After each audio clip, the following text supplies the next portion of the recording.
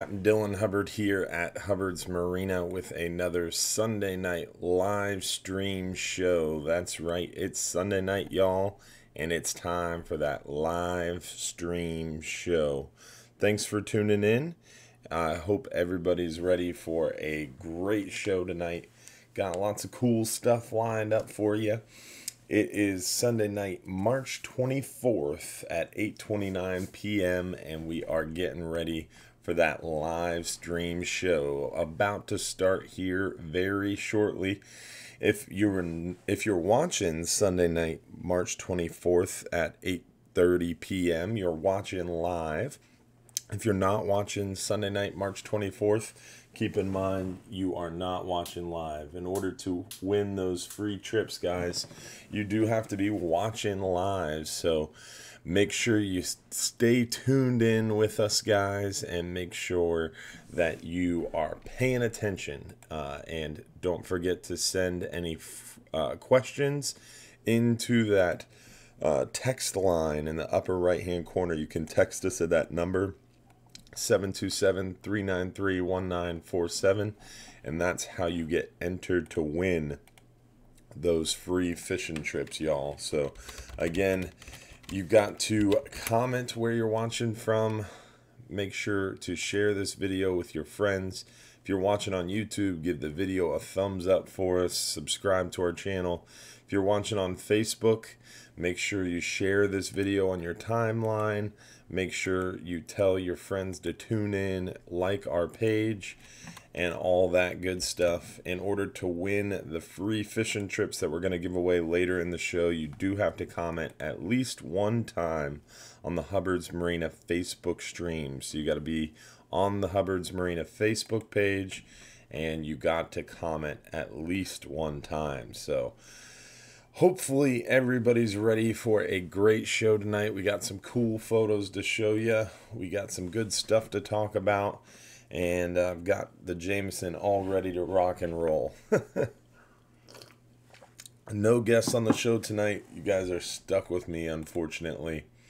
Uh, we are back in operation, and that means our captains and crew are busy, and uh, we are blessed to be rocking and rolling with trips once again. And uh, that means it's a little more difficult to get the guests on the show, but hopefully you guys still enjoy it. Um, tonight we're going to be talking all about nearshore and offshore fishing, talking a little bit of inshore fishing at the beginning of the show, and uh, we got some cool announcements to go over as well. But I think we're ready to get this thing rolling. Hey guys, happy Sunday night again. It's Captain Dylan Hubbard here at Hubbard's Marina. So our Sunday night live stream show is every Sunday night at 8:30 p.m. Thanks for tuning in and joining us tonight for that live stream show. Uh, we always start off the show by showing you some photos of what's been going on. Uh, we show you inshore, nearshore, and offshore, what's been biting, what we're catching, talk a little bit about what we're looking forward to. Then we might go into some weather, and then we get into your questions. If you have a question, you can text that question to us right in that upper right hand corner, guys. That 727 393 1947 number. That's where you send your questions, and that's how they get answered. If you drop a question into the comments, I appreciate it, but they don't get answered live during the show. After the show, I try to go back through the comments as best I can, but if you text us at that number in the upper right hand corner, that's how you're going to get your question answered, possibly live during the show. So, uh, with that, let's go ahead and get rolling and show you guys some of these photos of what's been going on inshore. So we'll start inshore. The mangrove snapper have started to roll in into the area. As that water warms up those mangrove snapper become more and more common uh, in the inshore waters. We're also seeing some of these redfish throughout the area. The redfish bites actually going pretty good uh, inshore around those oyster bars especially at higher tides. Oyster bars grass flats mangrove shorelines lots of schooling redfish around the tampa bay area. Some really nice fish uh, around and being caught. We're also seeing a lot of snook action. The snook are very active right now. I think the snook is probably biting best uh, out of any inshore fish on the flats, uh, in the passes, on the beaches, at night and early morning hours. The pass is a great time to uh, great place to find the uh, snook biting well. During the day, we're seeing some snook in the pass and a lot of them on the beaches. Great areas to find those uh, snook feeding heavily. We're also seeing a good mix of trout. The trout bite has been going well in those deeper holes adjacent to the flats and uh, around the edges of the grass flats. Also, we're seeing a few trout in the passes at night around the docks and bridge lights too. So, overall, some really good inshore fishing as of late.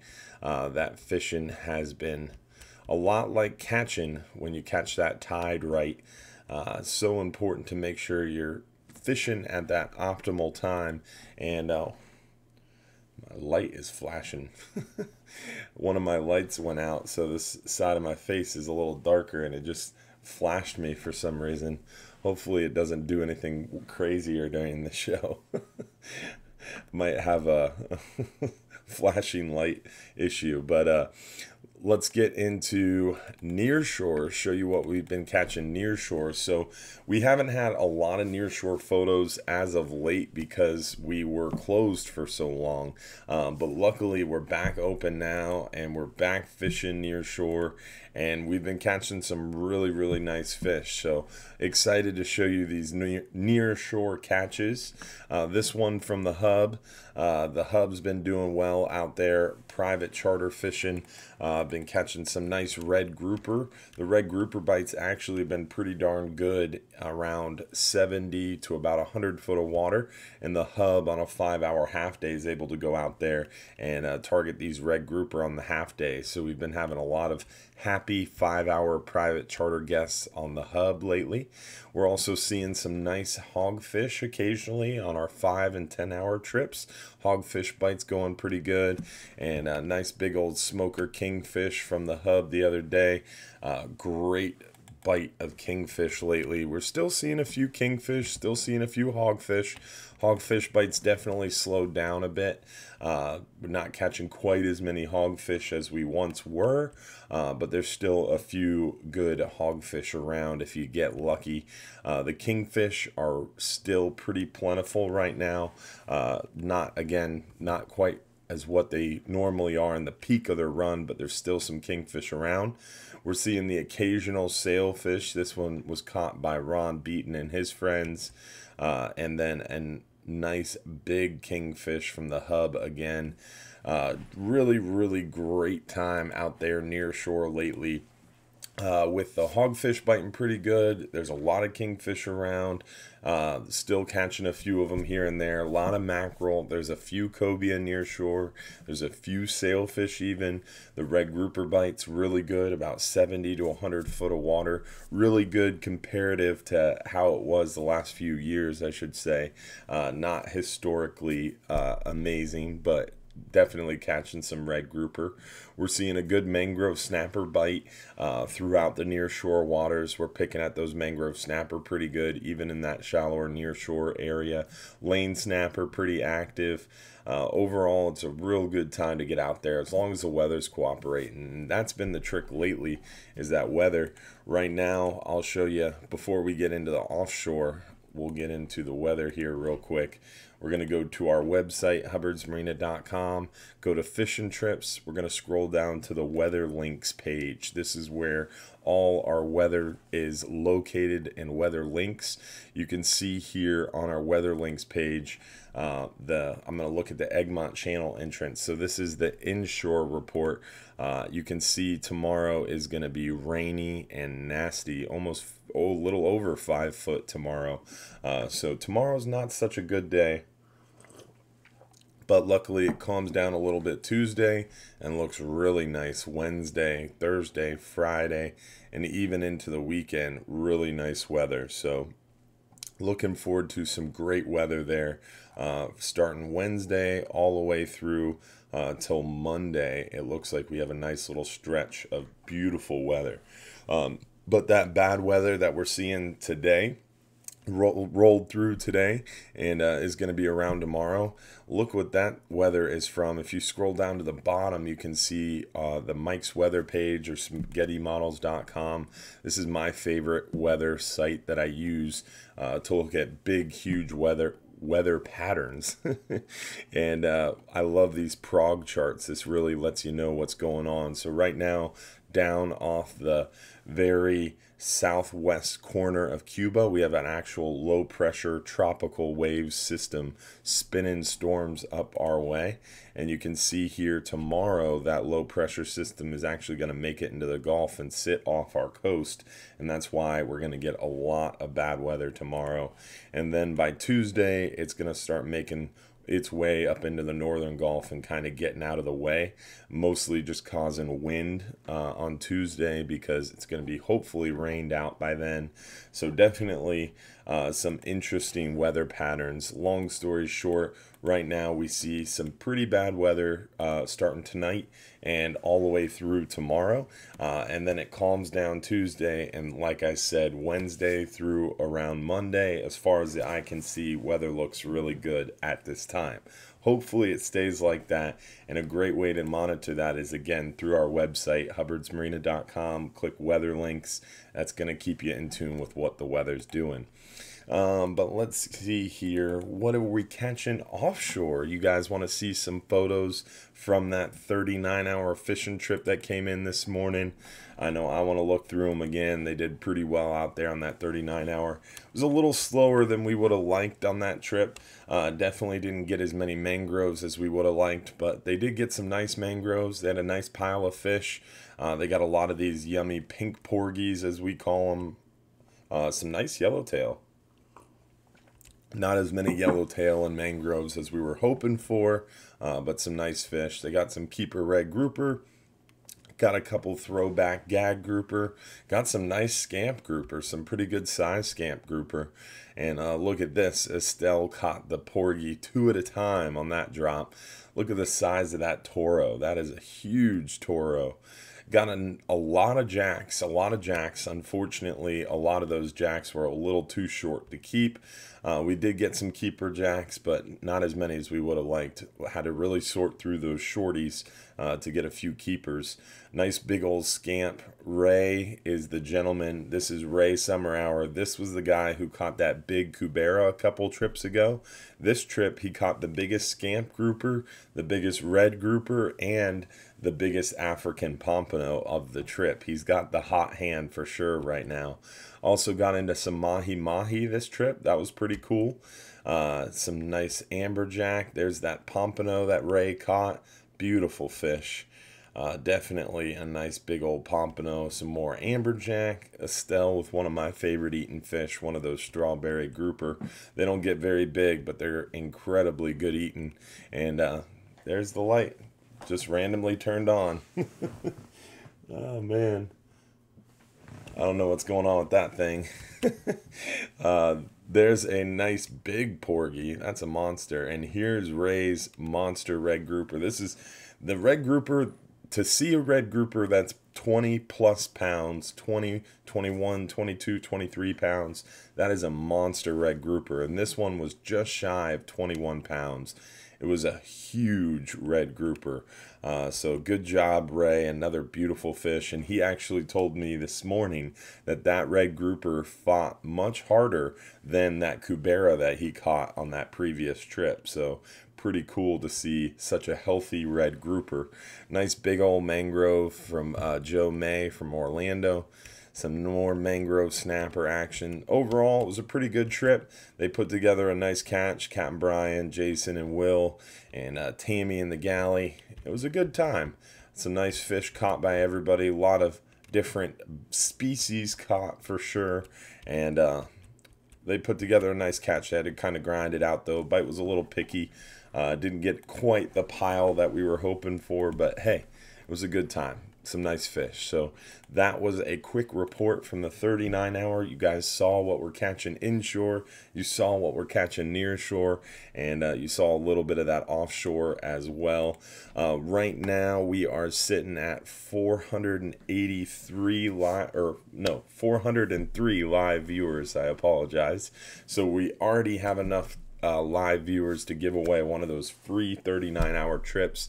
Tonight, we're going to give away a five hour half day for two guests. We're going to give away a 10 hour all day for two guests, and we're going to give away a 39 hour trip for one guest. So, lots of good stuff going on tonight. Uh, we are going to get into your questions here very shortly, but first, I think it's time to give away one of those free trips. So we're going to start off with our five hour half day for two guests. And uh, let's see who that lucky winner of the five hour half day for two guests is. Ah. Bob Cole from Leesburg, you are the lucky winner of that five hour half day trip for two guests. Uh, so again, how you claim your trip, uh, Mr. Bob Cole, is you text that number in that upper right hand corner. Text that number, your home address, uh, if you're picked as that lucky winner, and uh, that's how you claim your free trip. Light went off again. this is freaky. Time for a new light, I guess. All right, let's get into these questions and uh, see what's going on over here. Do you allow jig fishing on the 5 and 10 hour trip? And if so, is it worth spending time and do you sell jigs in the store? Yes, we have a ton of vertical jigs in our shop. We have the diamond jigs, we have the slow pitch jigs, we have a variety of knife jigs, flutter jigs, tons of jigs in the shop. Uh, a lot of people jig fish more on our long range trips, like the 12 hour trips, the 39 hour trips, the 44 hour trips. That's where more jig fishing is done. And I would say the best trip coming up with an opportunity for lots of jig fishing would be this Friday's 39 hour trip. We already looked at the weather. The weather is spectacular this Friday. Uh, that's May 29th. That's this coming Friday.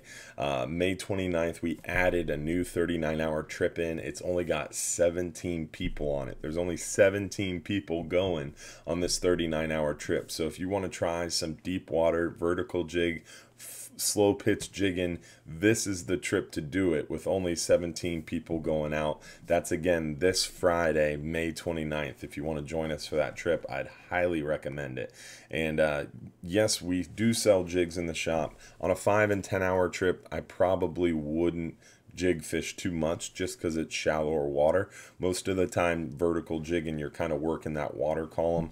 And on a five or 10 hour trip, we're just not that deep of water. So I would probably hold that more for the longer range trips, but it's up to you. Uh, you can jig fish on our trips as long as it's not causing an issue. Uh, who is the captain and crew of the 12 hour night snapper and how has that trip been doing? The 12 hour night hasn't gone out in a while. We had to cancel the most recent one due to weather. The one week before that, we didn't have one because of the moon phase. Or wait, this past week we didn't have one for the moon phase. The one before that uh, was canceled due to weather. But long story short, we haven't had one in about three weeks.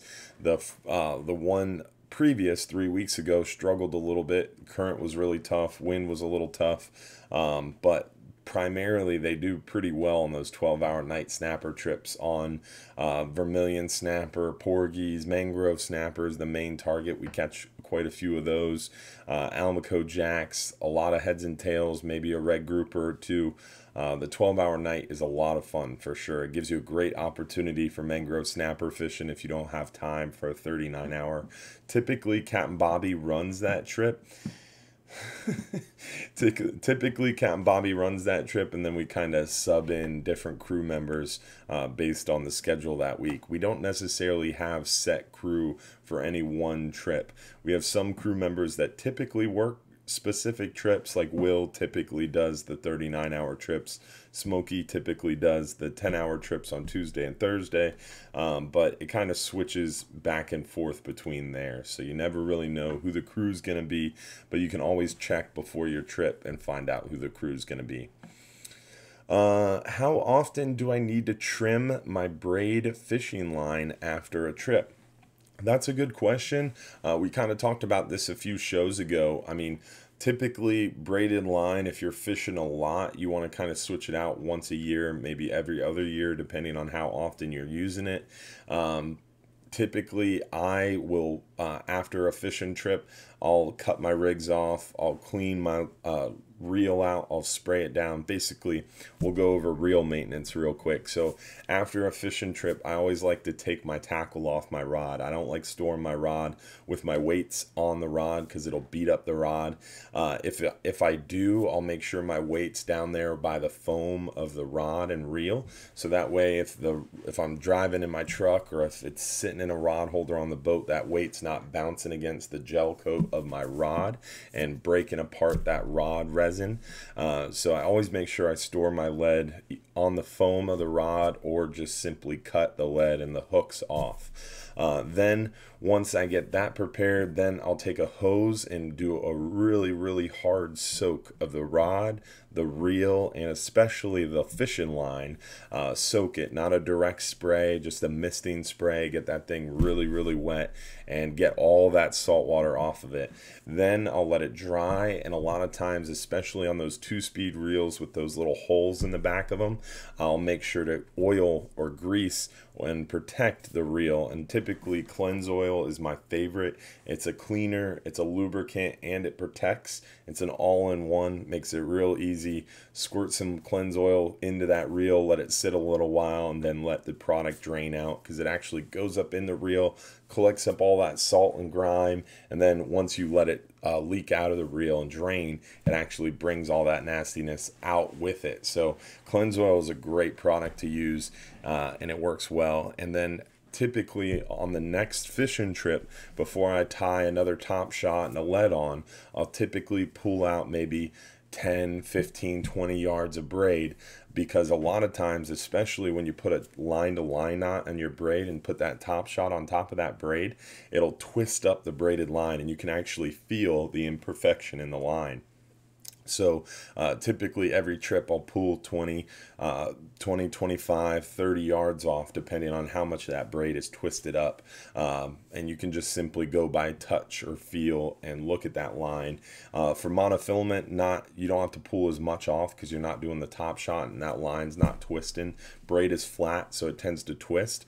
Uh, so monofilament, you don't have to pull as much off. I typically just run my fingers up and down the line, make sure I don't have any spurs or nicks in the line before adding new lead swivel leader for my next fishing trip. But it's always a good idea before you start rigging a rod for your next trip to make sure that you pull a little bit of line out of that reel to make sure you're starting with fresh line. That's always a smart idea.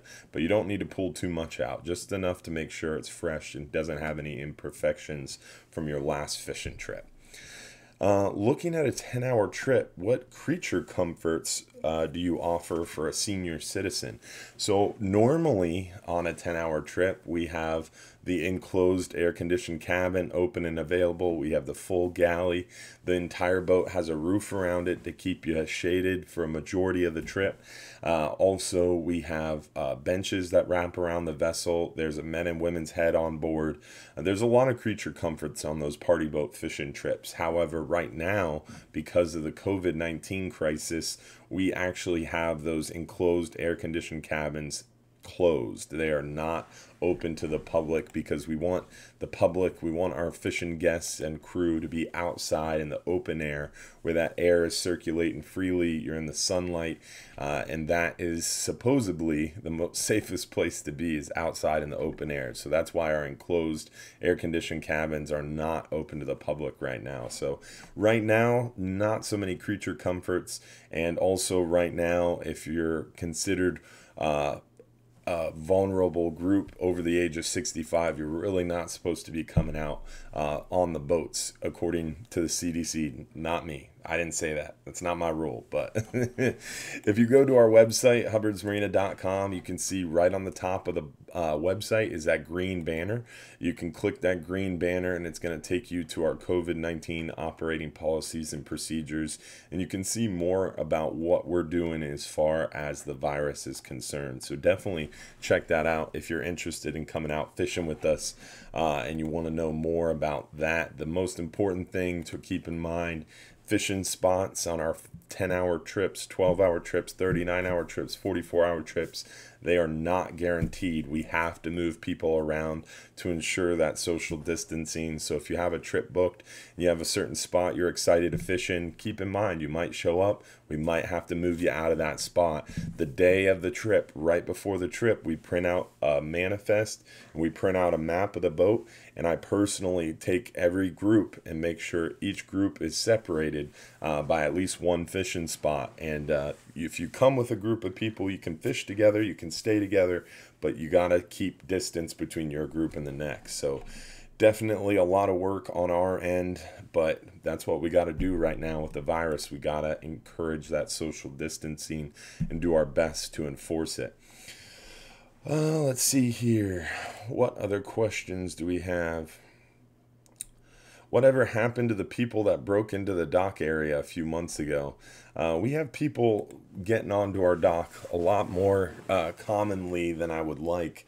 Uh, and basically, what happens is when we uh, see it on video, when someone calls us, when the sheriff drives by and catches someone, essentially, if they're not doing anything nefarious, uh, we just ask them to leave and not come back. If they're this light is killing me.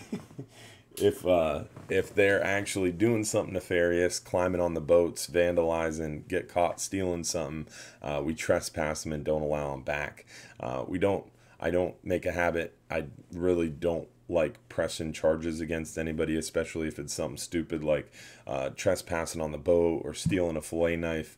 Um, but uh, repeated offenders, we have uh, had to take that action when we caught someone stealing multiple times. But in the case of the most recent one, just some young kids climbing on the boat, and uh, the sheriff went down there and told them not to come back. So it was a simple situation, luckily. Uh, hopefully, nothing goes missing. That's the biggest thing. Is as long as nothing's being vandalized or stolen, we're pretty laid back. Uh, but the dock is no trespassing, just like the signs say at night. For that reason, we've had issues with it in the past, and unfortunately, a few bad apples ruined it for the whole bunch. So when our office is closed, our docks are no trespassing, and of course the boats are no trespassing. Um, but for some reason, a lot of people like to sneak onto the dock and then even climb onto the boat, which is just beyond me, mind boggling, but it happens. Um, let's see here. What other questions do we have? Uh, you have said that all spots in the boat are good to catch fish from. Uh, for a first time person, is there a spot that's better so I don't uh, make seasoned anglers mad but still can get help and advice from deckhands? That's an interesting question and viewpoint. I mean, for me, my favorite fishing spots are anywhere along the side of the boat up to the bow. Uh, from the middle of the boat to the bow along the side is my favorite areas to fish. Uh, it's generally more open, there's generally more room. Uh, right now, because of the virus and because we have to spread everybody out, anywhere on the boat has more room. Um, but it, uh, it I wouldn't say there's one spot better than any other to get advice from the crew because the crew's going to be doing laps around the boat. The crew's supposed to be helping everybody out equally. So there's no one spot better than any other for sure as far as getting advice from the crew and as far as uh, making sure that you're not upsetting anybody else. Uh, again, right now, because we're limiting the number of people on the boat and spreading people out so much, right now is a great time to go for you guys because we're not taking as many people and we're limiting the amount of people fishing and we're spreading people out. So uh, the the client, the guest, the fishing friend is definitely uh, coming out ahead during these uh, tough times with the virus. Um, for that reason, because you have more room, more room to fish. Uh, let's see here. next question is uh, getting through some comments. There we go. I've been seeing a lot of video on slow pitch jigging lately. Is this tactic practiced on your trip? Uh, yeah, there's a lot of people that slow pitch jig on our trips. Uh, it's becoming more and more popular, definitely. As time goes on, I feel like more and more people are trying this whole slow pitch jigging thing. Um, it's expensive and uh, it's unique and uh, a little tricky to learn. Takes a little bit of practice, um, but you can catch a lot of fish slow pitch jigging. I like uh, vertical jigging or slow pitch jigging at the very beginning of a spot or very end of a spot uh, to try to get in the very beginning that most aggressive fish to come up off the bottom and hit the bait, and then towards the end of the spot, kind of send something down that's a little unique, different from what the fish have been seeing. Uh, that's my technique. Me personally, though, I like bait fishing a whole lot. I like dead bait on the bottom, letting that sit still, holding that rod perfect so I feel that line. And when I feel that bite, setting the hook and catching that fish. I really enjoy bait fishing for that reason. Jig fishing is a lot of fun because you're working that rod and working that reel, making that jig do the perfect dance, and then all of a sudden you get slammed. It's fun too, but there's something to be said for holding that rod, actively fishing, making sure your line's uh, tight, tight enough to feel the lead, but not tight enough to disturb that lead on the bottom, and actively moving that rod tip with the boat to make sure that I'm constantly feeling that bait. And then when I feel that bite, being able to feel it and set the hook appropriately to catch the fish, I think that's a lot of fun and uh, it's uh, challenging. So I enjoy bait fishing for that reason. But slow pitch jigging is very addictive. Uh, it's a little tricky to get started because there is some pretty good technique to it. But like you said, there's a lot of videos out there online.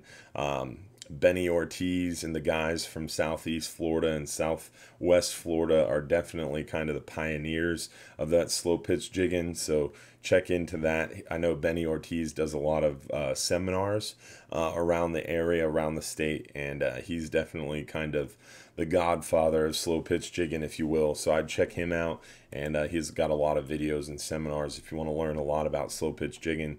I'm not super into slow pitch jigging myself. Like I said, I still enjoy bait fishing a lot, but there's a lot of people that do it for sure, and there's a lot of fun to be had. But uh, it's basically uh, an expensive habit because the jigs are expensive, the chase hooks are expensive, the assist hooks are expensive is what I mean.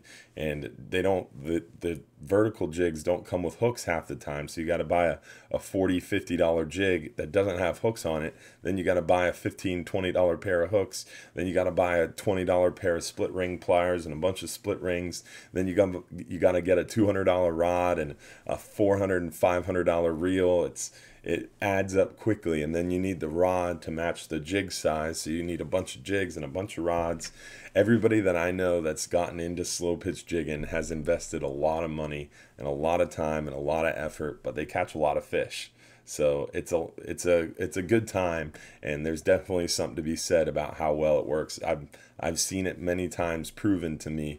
Uh, one of the biggest gag groupers caught this past year was caught on a slow pitch jig, so they definitely work.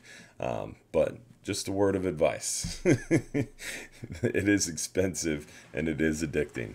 Just look at Rich Golis. Rich Golis started slow pitch jigging all of a sudden one day, and now he's got a bunch of slow pitch rods and reels, bunch of jigs. He hardly even fishes with bait anymore, and uh, yeah, he's he's uh, invested, but he loves it. He has a lot of fun. Rich Golis is on the 12 hour extreme trip. So if you want to learn more about uh, slow pitch jigging on our trips, Rich Golis is a great guy to ask. And that's Captain Rich. He's running the Flying Hub 2 nowadays. Let's see here. Uh, what do you think the bite will be like tomorrow? With that weather coming in around Johns Pass and the Skyway. Uh, there is a lot of weather coming in. The bite was pretty good today ahead of the storms. Tomorrow, when that storm is actually here, the fish will probably be chewing. The weather won't be so good. Um, but one of the things that I like doing when I'm inshore fishing or when someone asks me about inshore fishing is again on our website. You can go to our website, hubbardsmarina.com, click fishing trips, scroll down to that weather links page on the weather links page you can get the tide information the tide and Solunar information at smartfishingtides.com excuse me smartfishingtides.com and um, you can pick where you're going to be fishing. In this case we're going to pick John's Pass and it's going to tell us exactly what the bite's going to be like. So tomorrow bite doesn't look so good tomorrow uh, but you can click on the day and it's going to tell you the tide what the weather's going to be doing basically going to be raining all day it says and then it's going to tell you when the bite is going to be the best so the bite's going to be the best right around 8 a.m. and then again right around 8 p.m. tomorrow. Uh, but it's only a 5 out of 10, so not so hot tomorrow. Um, but right before sunrise uh, and through sunrise and right before sunset looks to be the best to answer your question, at least for John's Pass. Um, it's going to be a pretty nasty day. If it was me, I would uh, spend tomorrow getting ready to go fishing uh, later this week when the weather gets nicer. Um, but that's me. Let's see here. What is the cost in hours of your fishing trips? right back to the website for that question. Go to fishing trips, and then under fishing trips, you can click fishing trip information. And on the fishing trip information site, or under the fishing trip information page, you're going to see all our different fishing trips. And down towards the bottom will be a list of the trips with the prices. Uh, so I don't know if you guys can see that. Uh, right there lists our different. Trips our five hour half day for $65 the 10 hour day for 109 12 hour night snapper for 149 and i clicked on a button. But long story short you get the message. All that information is right there available on our website. If you ever have any questions you can always reach out to us right through the chat window on our website or text us. Let's see what's the next question if you are fishing for grouper and snapper, which Skyway fishing pier would you choose and which side? Uh, is the this is by boat or even on the pier. Uh, so Skyway Fishing Pier, uh, traditionally, the rumor is the South Skyway Fishing Pier is best. Uh, if it was me, I'd be trying to find those structures like those rock piles, those rubber rubble piles. That outgoing tide, letting that bait drift out there is a great way to catch some of those gag grouper once they open. Um, as far as specifically where, uh, not going to get into that too much. You can uh, get out there and see for yourself where those more experienced anglers fish. I don't fish the Skyway myself a whole lot. I've been down there just a handful of times. Um, blessed to have grown up on the back deck of some fishing boats. So I fish mostly offshore, but there is some hardcore, really good anglers who catch a ton of fish from the Skyway. And what my grandfather always said is you have two ears and one mouth for a reason. Just shut up and listen. And uh, my grandfather used to preach this to my my father. My dad preached it to me growing up, and that was one of the coolest parts in my mind of fishing on a party boat because I was able to sit back at a young age on the party boat and watch. And the guy over here in the corner who looks like he's been fishing for a hundred years uh, and is maybe doesn't want to talk to everybody, maybe isn't so friendly, sit back and watch. And you can learn so much from the different techniques he uses, from the different approaches he uses, the different rods, the reels, the tackle, and uh, you can learn a lot from fellow fishermen on the party boat without even asking or without even saying anything, just doing trips, getting out there on the water and looking and watching and see what works and what doesn't work. And uh, that's definitely, in my opinion, one of the biggest benefits of party boat fishing is meeting fellow anglers, meeting other anglers, talking to other anglers, and then just watching and learning from everybody around you. Because you're always picking up new things, even to this day. Almost every trip, there's some unique thing that someone's trying that you're like, that that doesn't look right. But then all of a sudden it works. So, really cool part about pier fishing, party boat fishing, uh, fishing in busy areas. You get to learn from fellow anglers, and that's a great benefit of fishing somewhere like the Skyway Fishing Pier. How's the weather look for Friday morning's trip? Weather looks gorgeous starting Wednesday all the way through Monday, as we showed before. So beautiful this coming Friday, luckily, at least right now. So hopefully it stays that way. Uh, but I think it is time to go ahead and do another free trip giveaway. At this point, we're going to give away that 10 hour all day for two guests coming at you now. So let's see who won that 10 hour all day for two guests. And the winner is Richie Roger from Connecticut watching. Richie Roger, congratulations. Again, if you are picked as one of those lucky winners, you do have to text uh, our page uh, at that phone number in the upper right hand corner your home address uh, within a few minutes to prove that you were watching live because you got to be watching the show live in order to win. All right, so we got some more questions to get through. Once we get through these questions, we'll make some announcements, and we still got another trip to give away. So stay tuned. We still got a little bit of time left here, guys. Let's see here. Is the 39 hour trip on June 12th operating on partial capacity due to the pandemic? Unfortunately, right now, guys, the social distancing is mandatory in phase one and phase two. Uh, until we get to phase three opening, social distancing is still required. So, until we hit phase three, unfortunately, we have to continue operating under the social distancing guidelines. No matter what you think of the disease, I don't want to start a political argument here or a the disease is fake argument here. This is purely regulation that we have to abide by, that we have no control over, that as a business, as a family business, we have to abide by and adhere to these rules to make sure we don't endanger our ability to operate as a whole. So carrying limited capacity is better than carrying no capacity. So I'd much rather adhere to these rules and regulations and make sure that we're operating inside that box instead of trying to operate outside the box, push the limit, and then get totally shut down. Also, uh, if you are worried about the virus or if you've got an infant at home like I do, you want to try to protect your family and friends and and uh, do the best we can with that. So we are still operating under those social distancing guidelines since we're only in phase one opening. So because of that, we do have to limit capacities. Now tomorrow we're going to make a final announcement as far as what our plan is for the first two weeks of June, and uh, then we're going to come into uh, around June 11th where we'll make a final announcement on what we're doing the last two weeks of June, and then towards the end of June we'll make an announcement the, about the beginning of July. Around the first week of June or July, we'll make an announcement about the end of July. Basically, uh, what we're gonna have to do for now is cut bookings back to our reduced capacity numbers and essentially limit capacity or limit booking uh, to the capacity that's uh, that we're using right now.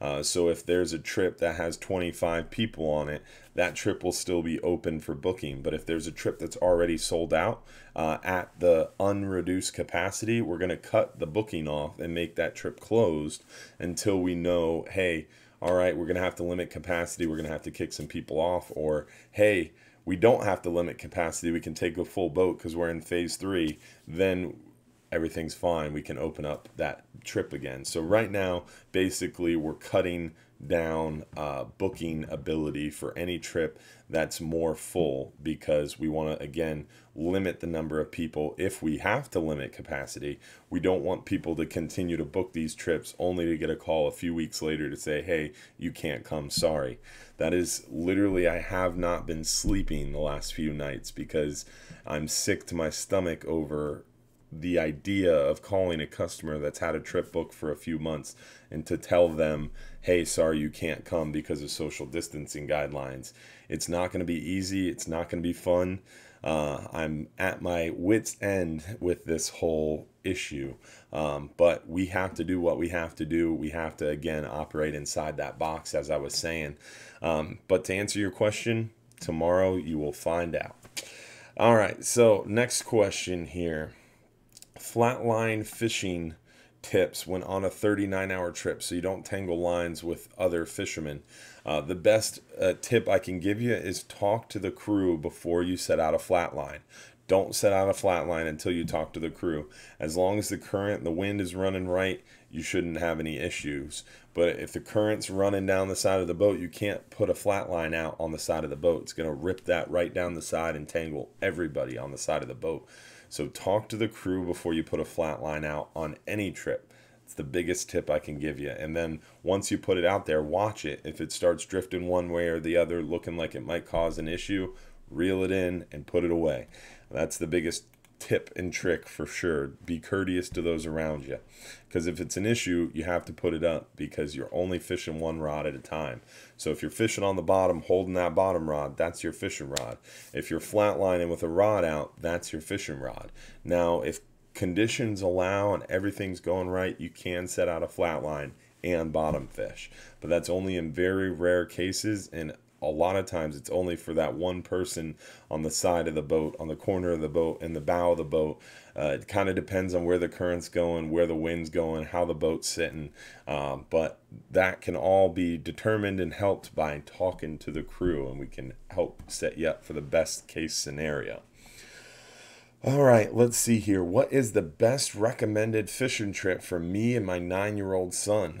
the best option would be a private charter on the hub or flying hub 2 where we can cater to you and your son uh, if a private charter doesn't work starting out slow with a five hour half day would be awesome great way for any level experienced angler to start getting their feet wet deep sea fishing then maybe work their way up to a 10 hour trip then maybe after a 10 hour trip or two try one of those 12 hour nights then maybe a 12 hour day and then you're ready to step it up to this, those 39 hour trips but definitely first time ever offshore fishing or bottom fishing, I would recommend a five hour half day, whether that's on the party boat or a private charter, all a good idea.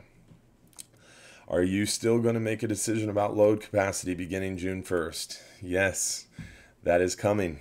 I can't tell you how many times that gets asked every day, and I think that's why I'm not sleeping at what at night because there's just so much anticipation. We work so hard we work so hard to fill these trips and allow as much ability to get on the water as possible. And now, with something like COVID 19 to just come out of nowhere and totally take our knees out from under us, it has been crippling, uh, to be honest with you, and really, really uh, overall depressing. But luckily, we're back open and uh, taking a few people under limited capacity has definitely been a lot better than taking no one and being completely closed.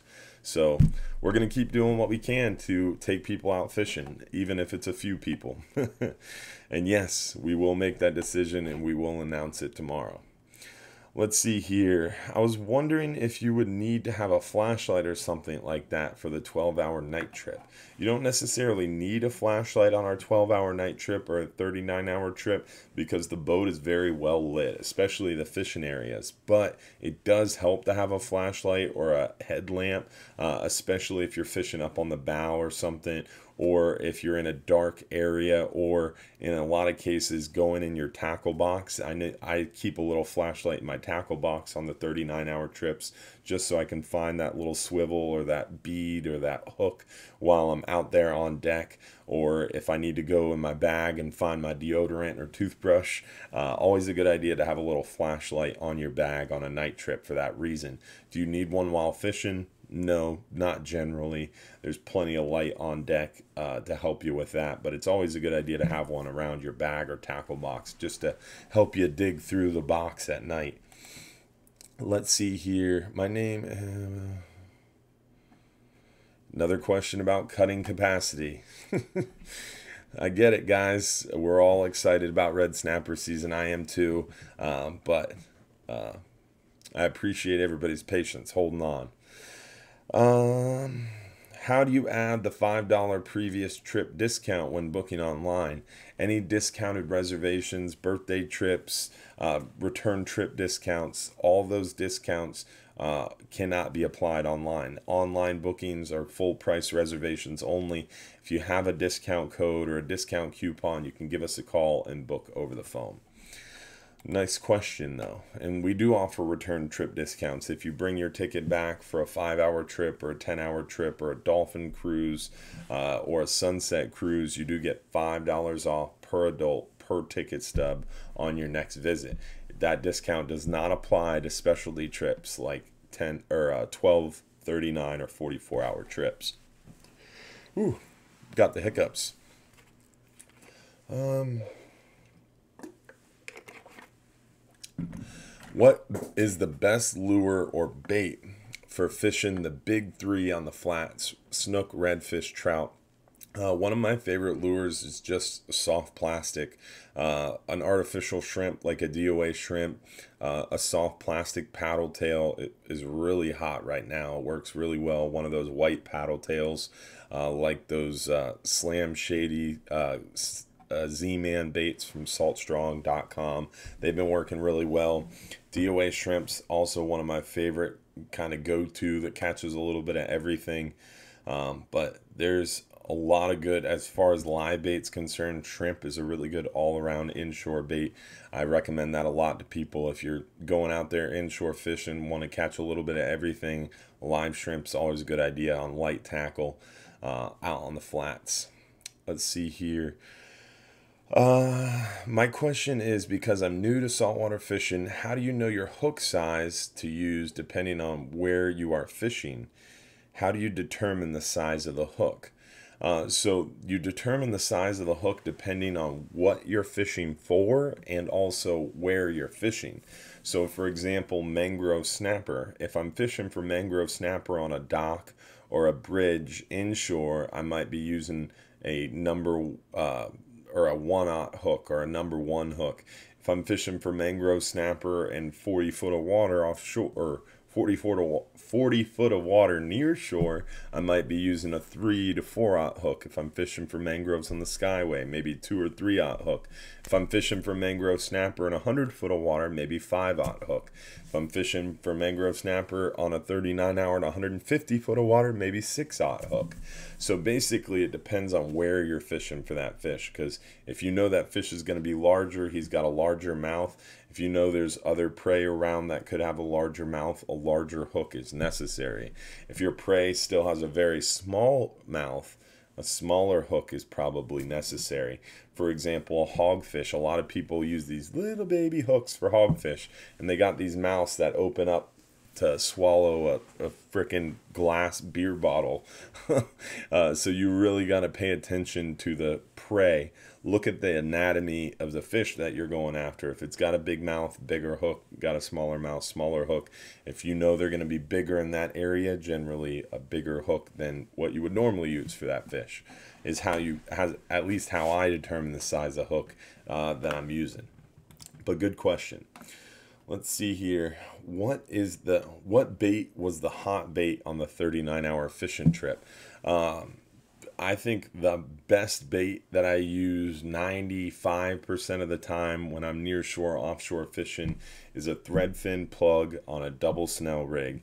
It doesn't matter if i'm on a 10 hour trip a 12 hour trip 39 44 hour trip 80% of the trip, I'm going to be fishing with one of those thread fin plugs and a double snell rig.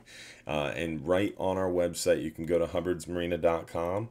And on our website, under fishing trips, you can scroll down to fishing tips and tricks. And on the fishing tips and tricks page, we have that how to tie a double snell rig is that first video. And then down here is the uh, how to rig the double snell rig for uh, mangrove snapper. And this is the the secret weapon. Talking to you today about how to rig a double snell rig.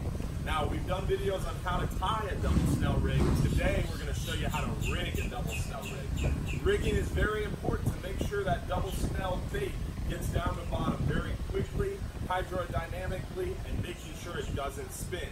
Tying a double snell rig is easy to do, but once you rig it correctly to make sure it doesn't spin and doesn't cause tangles on the way down is another challenge we're going to cover today. So first step for rigging a double snell rig is taking a piece of fluorocarbon. I always use fluorocarbon for my mangrove snapper fishing. Right here, we're gonna tie a double snell rig for our 39 hour fishing trip. So I'm gonna use some 50 pound fluorocarbon. I'm gonna pull out about five feet of fluorocarbon here. And the reason for that, guys, is I want a little longer leader a, because the double snell rig takes some line, and B, because typically that gives my hooks a little further from my lead. It gives me an opportunity to present that bait a little bit more naturally. Now, to, die, to tie a double snell rig, guys, you have to have both ends of the line available. You can't have one end tied to your swivel. Now, I'm not going to spend a lot of time on how to tie this, because I've already shown you that in other videos, but we're going to show you real quickly now. So first step to tying a double snell rig is putting that monofilament right through the eyelet of that first hook and always start through the front of the hook and then you just pinch the line there. And now I'm gonna wrap that uh, fluorocarbon around the hook. A little easier if you have a little extra line. There we go. So once you get it started, you're gonna wrap it about seven to eight times and then pinch that leader. And now you started through the front, so you're gonna finish through the back on that first hook. Really, really simple, easy knot. Once you get that fluorocarbon bent, this fluorocarbon's a little bit stiffer than monofilament, so sometimes starting that double snell rig is a little bit of a challenge.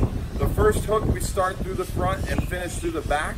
The second hook, we're gonna start through the back and finish through the back. So spacing on this is depending on the size of my bait. Now these are six aught hooks and 50 pound fluorocarbon for an overnight trip. So I'm gonna put these hooks a little bit further apart because I'm gonna be using a bigger chunk of thread fin. Now I'm gonna leave about a half inch between the apex of that second hook and the eyelet of that first hook. So now that I've got my spacing right, I'm just gonna do the same knot as I did on that first hook.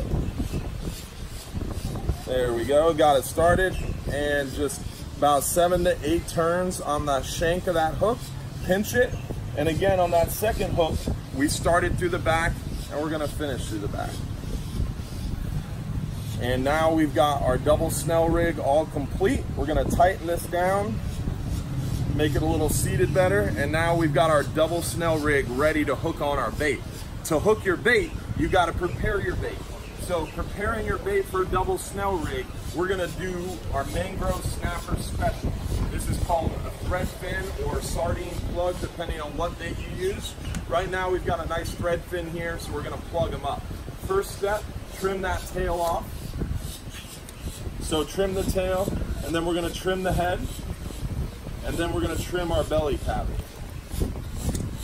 So now we've got a nice juicy chunk of bait here with the belly cavity open, plenty of guts oozing out, and the tail cavity open as well. And we've got a nice chunk of bait that's gonna be going to bottom naturally, looking very natural on the bottom, gonna be emitting a lot of smell, and we're gonna hook it and rig it nice and straight so it goes to bottom quickly.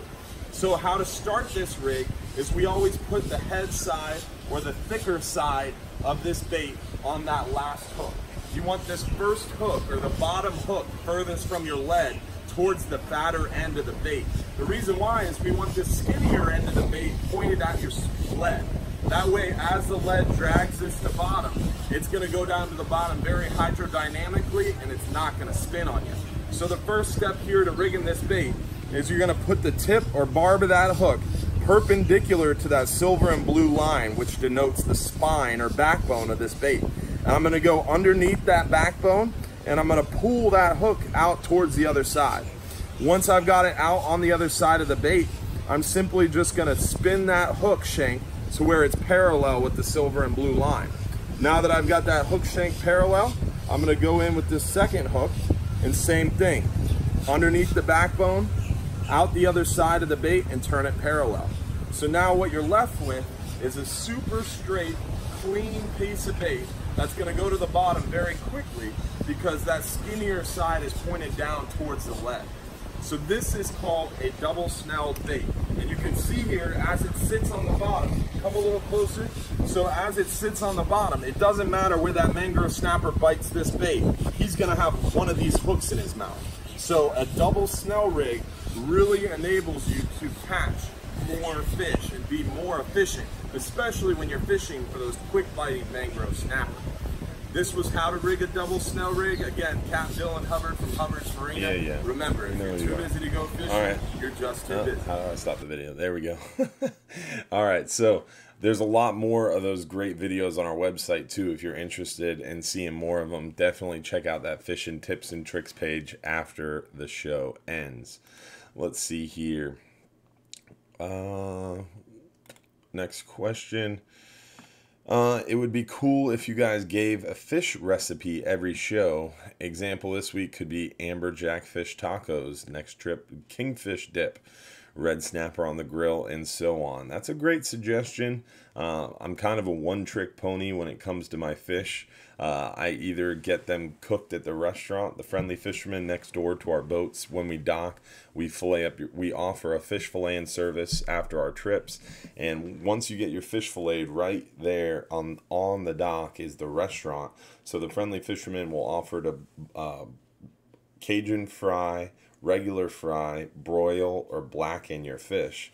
And those are the four ways that I cook my fish the most uh, because it's just easy after a trip. Let the friendly cook it, and uh, I'm ready to rock and roll.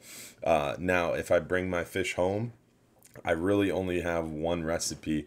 It's a recipe my grandfather used. It's a recipe my grandmother used. The recipe my dad used the, my whole life, uh, and that is right on uh, Fox 13 News. We did it live. We did a fish and fish cooking segment.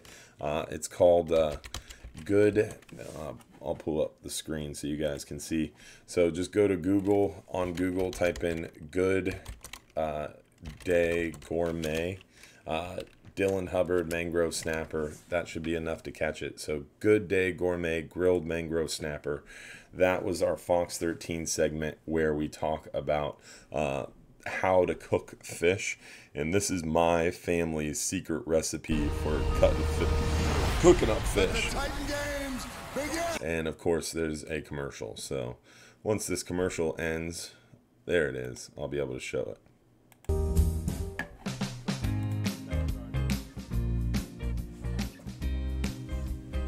Cheers. Cheers. Are at Hubbard's Marina at Johns Pass, and we're here because we're bringing in a special guest who's going to help us with our cooking today. We have Captain Dylan Hubbard.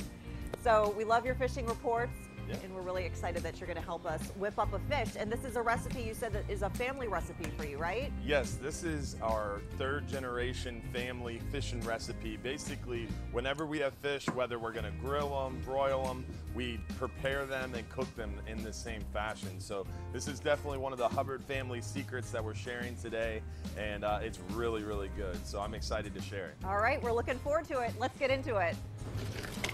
Mangrove snapper. These are one of my favorite eating fish. These guys are super fresh. They're super good eating. It's like Thanksgiving morning Yeah, when you cut into the turkey. And now you've got all the meat off that fish. So once we did one side, we're gonna flip it around and do the back side, cut right along the backbone. Well, that seemed pretty nice and easy. And then once you've got them filleted, then we gotta skin them. Okay, So now you've got the skin that's a clean cut right there. Yeah, still got some scales and stuff like that, but we're gonna rinse these down real good to get Okay. rid of all the scales. Nice mist setting with the hose, light spritz. And then as we prepare the fish, we're gonna use some uh, some mayo, and the mayo will clear out any extra ah. scales. Oh yes, the mayo. Oh, that's I the secret. The mayo. Now we're ready to prep it. Obviously, we've talked about the mayo, and it's got to be the real mayo. This stuff will cook off, and you'll see that when we start grilling. I'm a, big large- mayo fan, by Oh. the way, so you don't have to sell me on it. All right. well, that's good because I am too. We've got it mayoed up, so we're gonna season it up. okay. Black pepper. I really like this Himalayan salt. So they they cut it out, but real important, you use Hellmann's mayo. Something about it, my grandmother, my father, they swear, and I've tried it. Anything else doesn't work. It's got to be Hellmann's real mayo. Just throwing it out there. Oh, I clicked the wrong button. I like going a little heavier on the seasoning myself. A little bit of onion powder. Gotta have some garlic powder. Yes. This one's garlic, Garlic salt. salt. Okay. This is my one of my favorites. This Look is at this. Everglades seasoning. So now we've got one side done. So we're gonna just simply grab these things and flip them over. So now we're just gonna move these over to the grill. So we've got our grill nice and hot Okay. and we're ready to put this fish on here. And as soon as we put them on there, the timer's gonna start because we don't wanna leave them on there too long because it makes it really difficult to flip them. So this one I can tell is already pretty much ready. The sides are starting to get opaque. So he's cooking. You can tell it's already starting to stick together. So just real quick flip. I'm honestly very impressed with myself that I haven't let one break. Oh, Oh, there you- we go. Did you jinx yourself? I no, did. you didn't. You didn't. I think you got this. There, oh, Yes. recovered. Commit to the flip. You still got a little bit of translucent uh, fish right on the top there. I'm gonna go ahead and close this up Okay. and let it get that top side nice and seared up too. I think we're gonna take this guy off right here without breaking it up. So this is it. Ladies first. Thank you. Cheers. Cheers. And it's easy as that. That's The good. definitely Oh, the man. best recipe Taste- that I know is just simply a little bit of mayo, light coating of mayo, and then it helps the seasoning stick. That's the reason for the mayo is the seasoning sticks and also the mayo, the fat in the mayo cooks off, but it makes the edges of that fish really crispy and it holds in that moisture. So it makes it really moist on the inside, nice and crispy on the outside, and it keeps that seasoning on the fish. You can use that recipe to broil or to grill your fish. And if you use blackened seasoning, now you've blackened the fish. So that's kind of my one trick pony right there as far as fish recipes go. So uh, it's right there on the internet. Just Google Good Day Gour- Good Day Gourmet grilled mangrove snapper, and you can find that video if you want to watch it again. Uh, let's see. Next question. Uh, how uh, trying to pull off another trip this year? Uh, are you currently equipped to accommodate groups in July? Yes, I mean we're fishing every day. We got tons of fishing trips. Our specialty trips like the 39, 44 hour, and 12 hour extreme trips are pretty well sold out for June. There's a little bit of room left on some of those trips in later July, like 39 hour trips Tuesday and Sunday. Uh, the last three weeks in July have room on them. The 12 hour extremes are pretty full all the way through red snapper season until you get into uh, later July. And then our five hour trips, 10 hour trips have tons of room on them all the way through July. And there's always private charter options too. So there's still plenty of trips to book for sure uh, regardless of this uh, COVID 19 uh, capacity limitation issue that we're facing. Uh, what's the best bait to use for grouper when going out on the 10 hour trip? Uh, my favorite is a long strip of squid. Uh, you can use a live pinfish or a whole thread fin with the tail cut. Also, we have frozen baby octopus in the shop that work pretty well too. Uh, but the long strip of squid would probably be my best chance. L- long strip of squid or a live pinfish, I would say, would be the go to baits for uh, a nice chance at a keeper red grouper on a 10 hour trip or a 39 hour trip. So, right now, we're sitting at about. Uh, 450 ish live viewers. Appreciate everybody tuning in tonight. We are just about out of time tonight, so I'm going to get to the rest of these texts. A lot of people sent in uh, questions via text, and I'll get to these uh, texts later after the show is over. I'll try to get to some of your questions in the comments too. Uh, before we give away our last free trip of the night, which is that 39 hour trip, we do have some announcements. One of the biggest announcements is this Friday, the 39 hour trip, May 29th, only has 17 people on it. Super light load. It's going to be the last one uh, for two or three months because once red snapper season starts, we're going to be running full. So definitely check out this Friday, May 29th. Great opportunity to get out there and catch plenty of fish and have tons of room on the boat. Oh, huge announcement here. We updated our website check this out. On our website, you can go to store and then go to Marina Store. We just updated our online store. And our new online store has our new hook extractors on it. It's got our fishing reels on it. It's got our fishing rods on it. It's got tons of Hubbard's Marina t-shirts and it's also got our saltwater hippie stuff on it too. And we're going to be adding our salinity gear shirts to that this week as well. So tons of uh, cool stuff on the store and everything has options. So like for example on the hats, you can choose all the different hat colors and it'll show you the different colors right on the page. So you can select all the different options uh, to purchase uh, from our online store. And same thing with the saltwater hippie products. There's other color options that you can choose from. So there's a lot of cool new stuff on that online store. Again, just go to hubbardsmarina.com, click store, marina store, and that's where you see all that cool new stuff right on our website. So definitely check that out when you have a second after the show. Also, don't forget. Uh, eh, that was all our announcements. Not many tonight. So uh, tomorrow we'll be making that announcement as far as capacities go, uh, probably around midday tomorrow. So stay tuned to our Facebook and YouTube channel and Instagram for that update on the announcements tomorrow. And the reason we waited, I saw someone already comment tonight about why are you waiting so long to make the announcement? Well, we were hoping that we would be further down the road and we'd have some more information. But unfortunately, we haven't gotten any more information. And at this point, we can't afford to wait any longer because people are scheduled on trips, they have plans.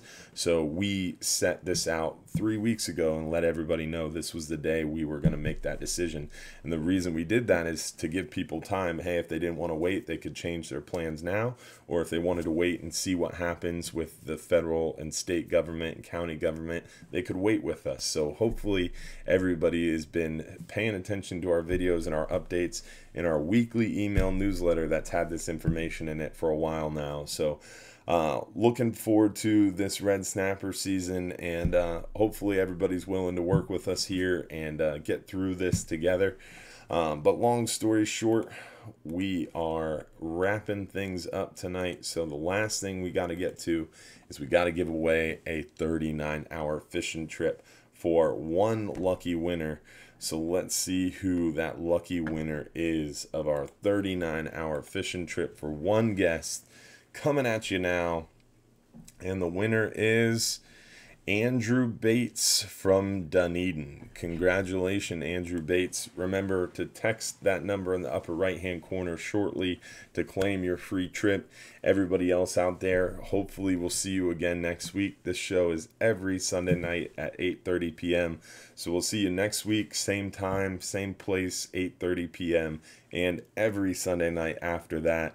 So tune into our shows, check out our pages, follow us on Facebook, Instagram, YouTube, and Snapchat. Just simply search Hubbard's Marina. And don't forget, if you're too busy to go fishing, you're just too darn busy. Have a good night, y'all.